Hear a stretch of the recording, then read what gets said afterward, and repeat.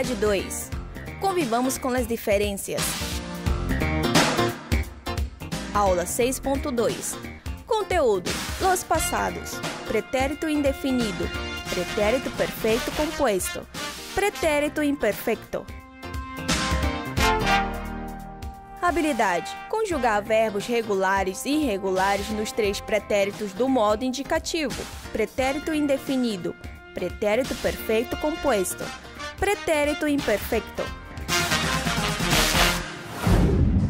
É isso aí, vamos continuar nossa aula e antes de tratarmos dos verbos, né, como eu falei para você, nós vamos rever o seguinte na nossa revisão.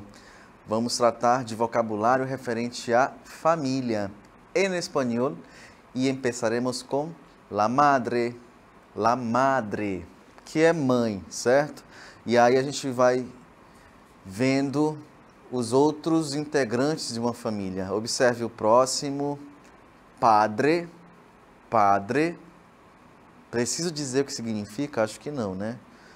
Continuando, abuela, abuela, abuelo, nuestro abuelo, el hijo, hijo, hijo, filho, hija, hija, filha, e hermano, hermano, hermana, hermana.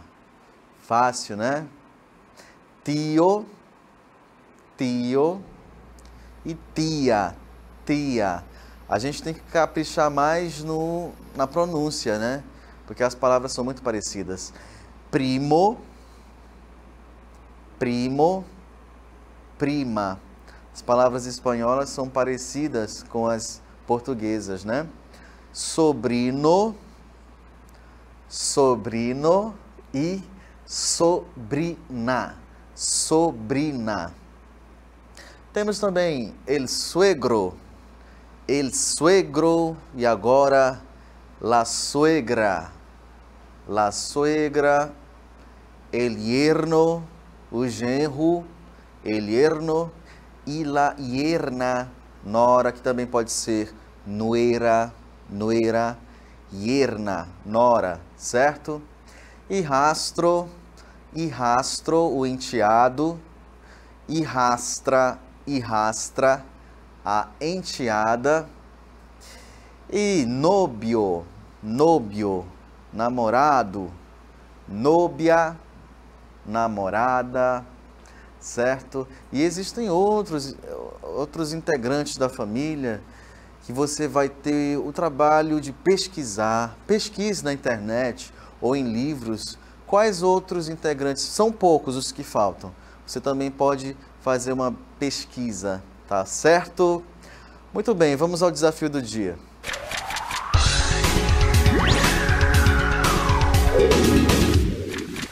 Desafio contesta a pergunta: Que você comeu ayer en el desayuno? Que você comeu ayer en el desayuno? O que você comeu ontem no café da manhã. Você se lembra? Tá aí o desafio do dia. Em seguida, nossa aula.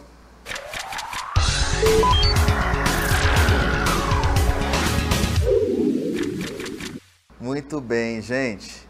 Vamos tratar novamente daquela palavra que usamos basicamente para expressarmos ações, né? Ações que a gente realiza na verdade, ações que a gente realizou, porque nós estamos tratando hoje de verbos no passado, tá? Lá no passado.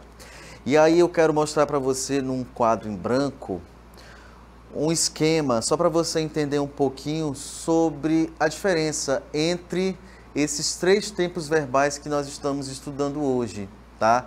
O pretérito simple, que também é chamado de pretérito indefinido, o pretérito imperfeito, certo? E o pretérito perfeito composto. Vamos lá então no quadro. Vamos ao quadro. É... Imagine aqui ó, uma linha temporal, tá? Olha só. Desenhei uma linha, ótimo. Bem aqui, nós temos o presente, tá? O tempo presente, ok? Em cima, nós temos os verbos que nós estamos estudando hoje, pretérito simples, imperfeito e composto. Veja só. O primeiro verbo que a gente estudou, a primeira estrutura que nós estudamos é o pretérito indefinido. O segundo que nós estudamos foi o pretérito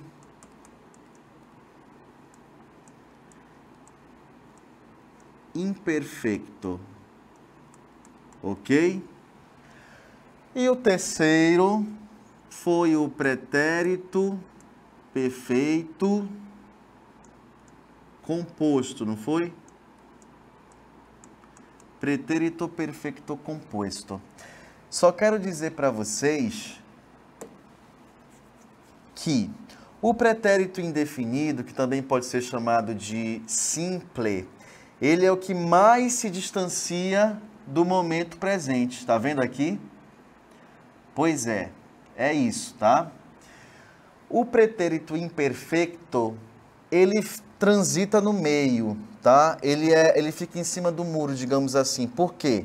Porque ele fica entre o pretérito indefinido, que está aqui, e também fica entre o pretérito perfeito composto, que está aqui próximo ao presente, tá?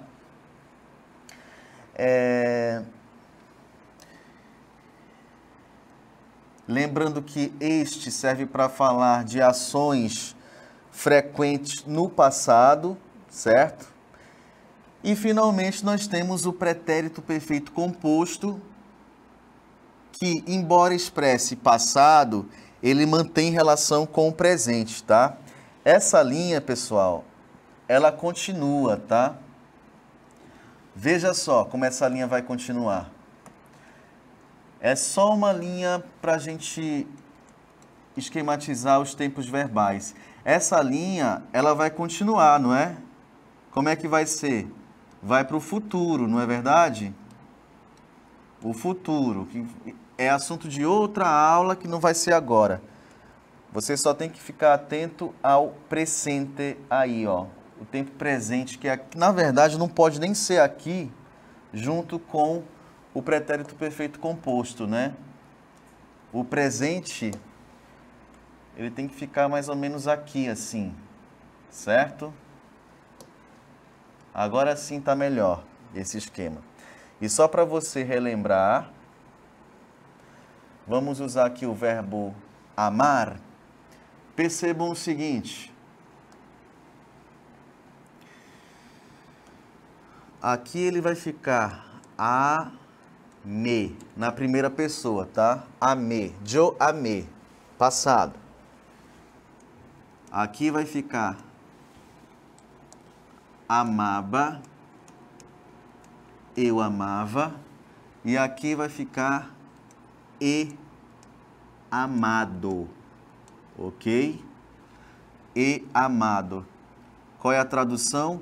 Amei também, né? Só que lembrem-se, pertinho do nosso presente, tá? Ok, após essa breve explicação, vamos fazer o seguinte: vamos conjugar mais verbos em cada uma dessas estruturas.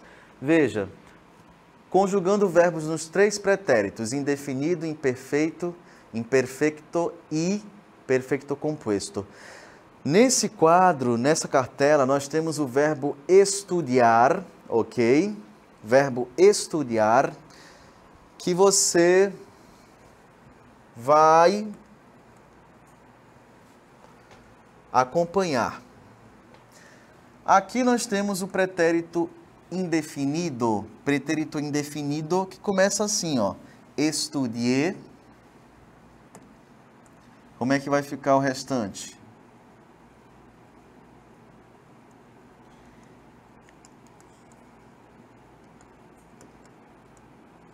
Estudiaste.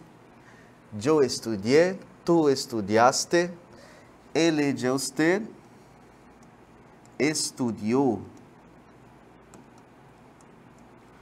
Nós outros estudamos, você já vê aí. E aqui nós colocamos vosotros. Vosotros estudiasteis, certo?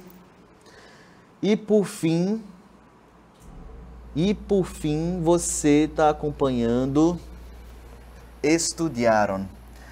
Então vejam, estudié, estudiaste, estudiou, estudiamos, estudiasteis, estudiaram. Vamos passar agora para o pretérito imperfeito. Pretérito imperfeito fica desta maneira, e eu vou aproveitar inclusive é, o que já está escrito, tá? Vamos pegar aqui o nosso radical.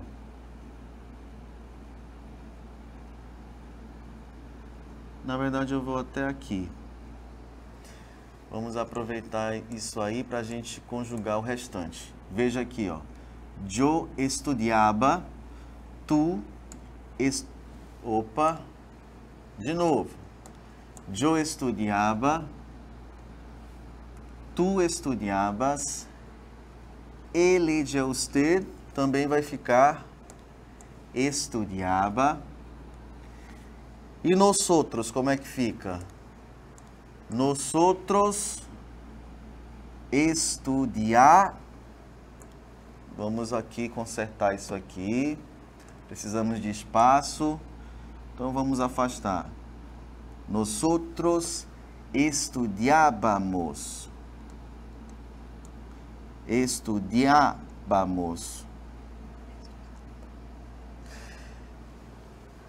Continuando, vosotros estudiabais, estudiabais.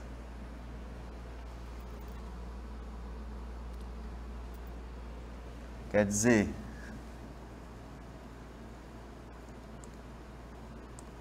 estudiasteis. Espera aí, gente, vamos, vamos começar a conjugação de novo. Eu estudiava, tu estudiabas, ele de usted estudiaba, nosotros estudiábamos, vosotros estudiabais, exatamente, estudiabais e ele e ellos sedias ustedes estudiaban. É só que a gente acrescentar aqui o N, né? Estudiaban. Aí a gente conseguiu formar o pretérito imperfeito. Prosseguindo ao lado, nós temos o pretérito perfeito composto e o verbo ainda é o verbo estudiar. Lembram que quando a gente vai conjugar o verbo no pretérito perfeito composto, a gente precisa de o verbo haber e depois o verbo estudiado. Então vamos conjugar primeiramente o verbo haber, não é verdade? Yo he, tu has, Aqui já temos a, nós outros hemos, nós outros hemos, vosotros habéis, e aqui nós temos an, não é? Bem simples. Então é sempre assim. Pretérito perfeito composto, a gente vai precisar é, do verbo auxiliar haber E em seguida, o verbo no particípio, que no caso é estudado, não é? Então, yo estudiado.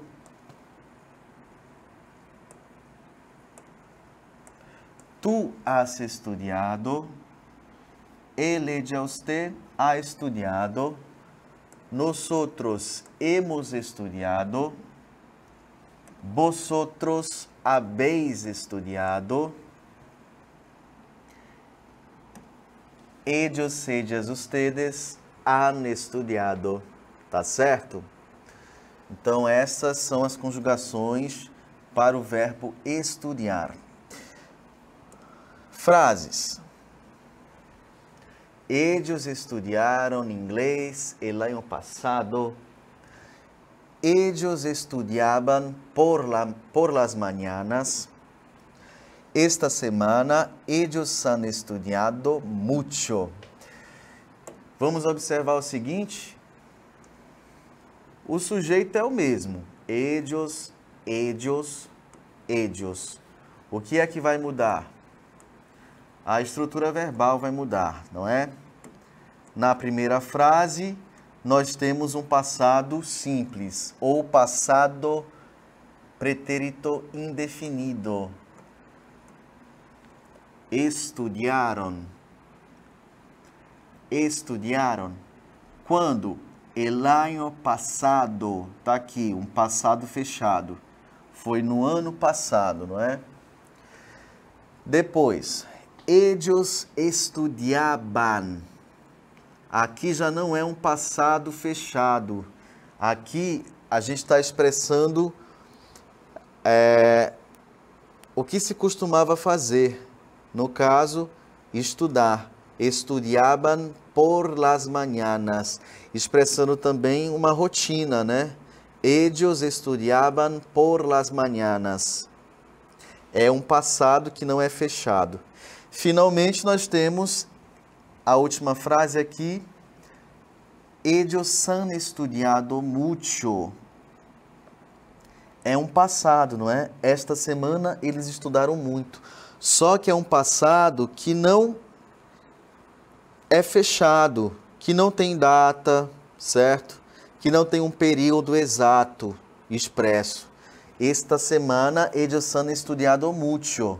Eu não sei qual é o dia exatamente, eu não sei se foi ontem ou se foi anteontem. Eu sei que foi esta semana. E isso quer dizer que esta semana ainda está acontecendo, certo? Ainda não foi concluída. Tudo bem? Prosseguindo, agora a gente tem o verbo comer. Olha, esse verbo termina em IR. Verbo, no caso agora, é o verbo comer e é ele que a gente vai conjugar agora também nos três nas três estruturas verbais que estamos conhecendo. Vamos começar então com o pretérito indefinido. Olha aqui, o pretérito indefinido. A gente começa a conjugar desta maneira: Joe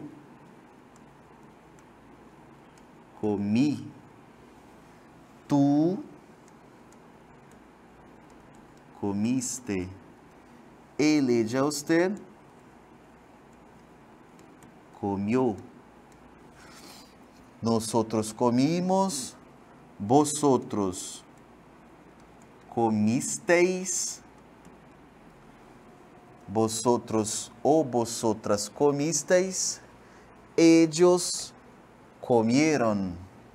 Ellos comieron. Certo?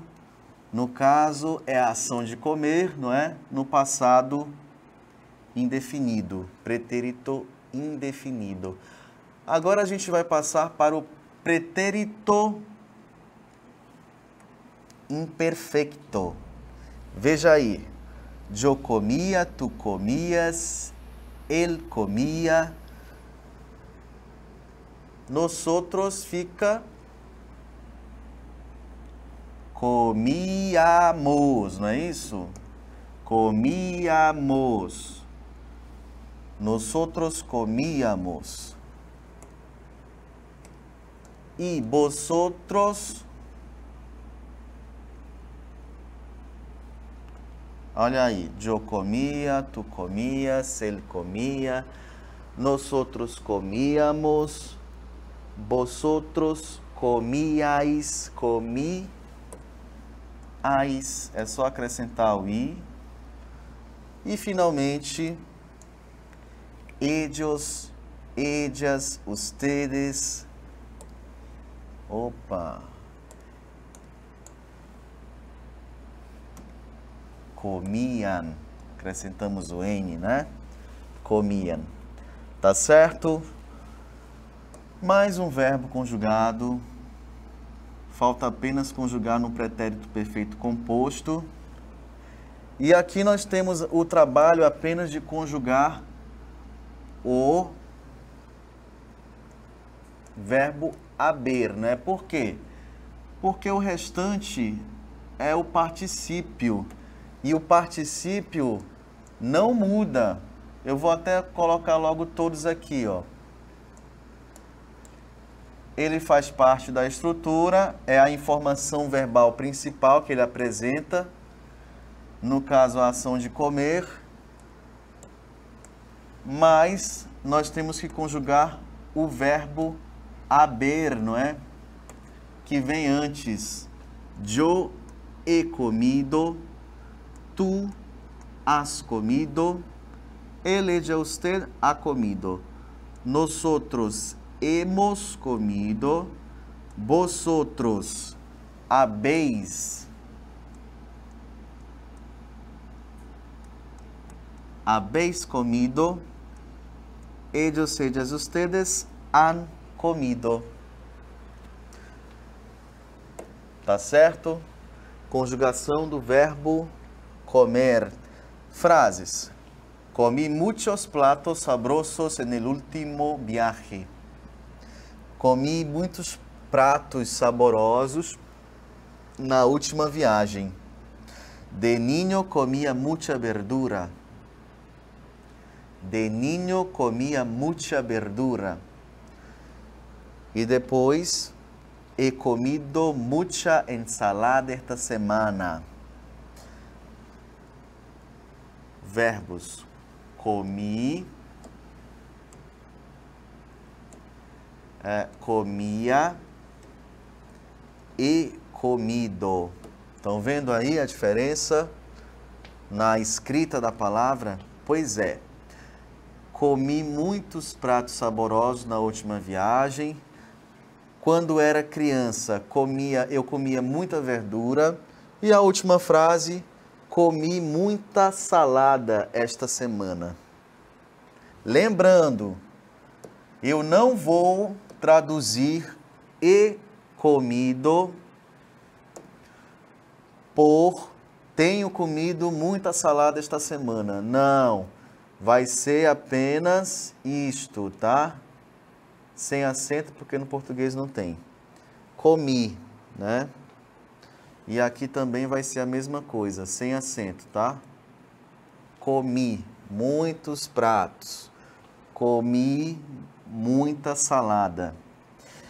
Finalmente, nós temos o verbo dormir, que também vai ser conjugado, e aí a gente termina essas conjugações nos três tempos que aprendemos hoje: pretérito indefinido, pretérito imperfeito e pretérito perfeito composto. Certo? Então vejam só. O primeiro caso, como você já sabe, é do verbo no pretérito indefinido. Eu dormi. E aí vejam, tu dormiste. Ele de usted dormiu. Nós outros dormimos.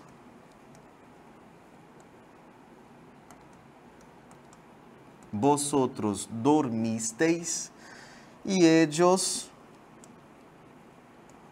dormieron, ok? Ellos dormieron, eu vou ter que tirar Vamos tirar o, o quadro daqui e aí fica tudo certo. Ellos dormieron, certo? Muito bem. Agora observe. Eu dormi, tu dormiste, ele dormiu, nós dormimos, vós dormistes, eles dormiram, certo? Vamos passar agora para o tempo verbal que apresenta é, ações que a gente costumava fazer no passado. Por exemplo, eu dormia cedo, era um costume que eu tinha. Eu dormia temprano. Como é que eu vou conjugar o verbo dormir, então, no pretérito imperfeito? Bem fácil, bem simples, né? Mais uma vez eu vou aproveitar o que já está aqui e aí eu só vou copiar. Eu dormia, tu dormias, como você está vendo aqui. Ele de você dormia. E aí nós passamos para as pessoas do plural, né? Como você está vendo, olha aí. Nós outros dormíamos. Nosotros dormíamos. Em seguida, nós temos vosotros.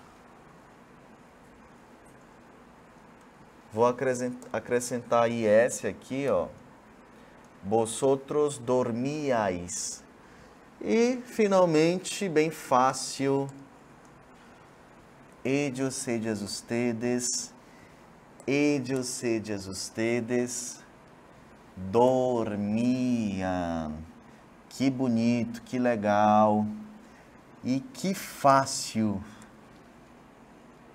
É um pouco cansativo, né? Porque a gente fica conjugando, mas é importante a gente perceber as diferenças entre cada pessoa e a maneira como o verbo vai ser escrito, né? Aqui no último, pretérito perfeito composto, para expressar um passado que mantém relação com o presente. Sempre precisarei do verbo auxiliar, haber, não é? No caso aqui faltavam e e as. E depois eu acrescento o particípio. No caso é dormido. Yo he dormido. Tu has dormido ele ya usted ha dormido, nosotros hemos dormido, vosotros sabéis dormido, ellos, ellas, ustedes han dormido. E eu sempre vou traduzir por dormir, dormiste, dormiu, dormimos, dormistes, dormiram, tá? Frases com o verbo, dor, com o verbo dormir. Ayer no dormí bien.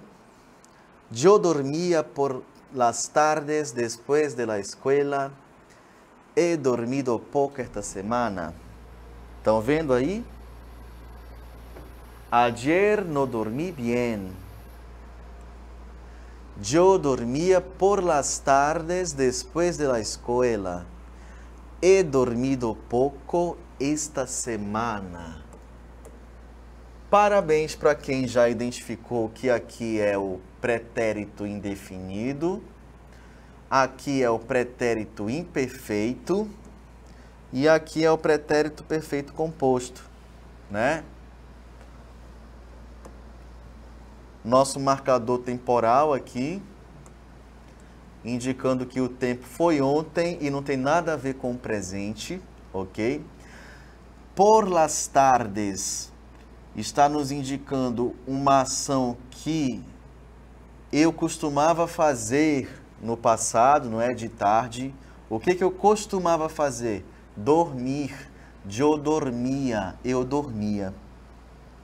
E finalmente, esta semana, que indica que a ação de estudar, quer dizer, que a ação de dormir, né?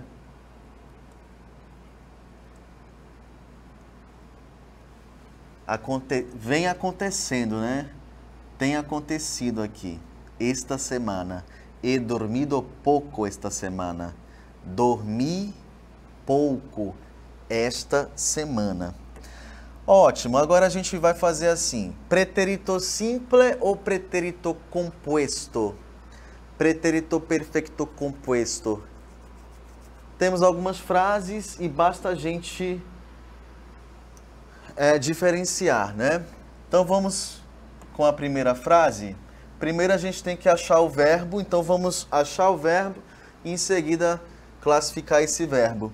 Ayer comi manzanas. Ontem comi maçãs. É o pretérito simple, não é? Falei para você que o pretérito indefinido também pode ser chamado de pretérito simple, tá? Próxima frase. La guerra terminou há três meses. Olha só, a guerra terminou faz três meses. Verbo é terminou, não é? Pretérito simple. Terceira frase. Los ladrones entraron en la casa. Los ladrones entraron en la casa. Qual é o verbo? No caso, é o verbo entraram. Ok? É o pretérito simples ainda. Tu estuviste en el cine. Tu estuviste en el cine. Tu estiveste no cinema, né? Uma afirmação. E é o pretérito simples ainda. Continuando. He comido manzanas. Comi maçãs. Aí você já percebe que nós temos o verbo haber, não é? E depois o verbo comer no particípio. Só pode ser qual mesmo? Agora eu vou escrever com azul. Pretérito perfeito compuesto. Abaixo. La guerra ha terminado. Também temos né, o haber mais o particípio terminado. Tradução: a guerra terminou. Só não se sabe o dia exato, né, o mês exato mas sabemos que é pretérito perfeito composto também. Depois, los ladrones han entrado en la casa. Nuestro verbo es este. Han entrado, pretérito perfeito composto. Prosseguindo mais frases. Primeira da cartela. Tu has estado en el cine. Tú has estado en el cine. ¿Dónde está el verbo? Has estado. Pretérito perfeito, compuesto, sem problema. Abaixo. Oi. Observem que isso aqui não é olá, tá? Não é oi, oi, tudo bem? Não é isso. Oi significa hoje. He ido al supermercado. Fácil, né? Por que, que é fácil? Verbo haber e depois o verbo no particípio. Logicamente, pretérito perfeito composto.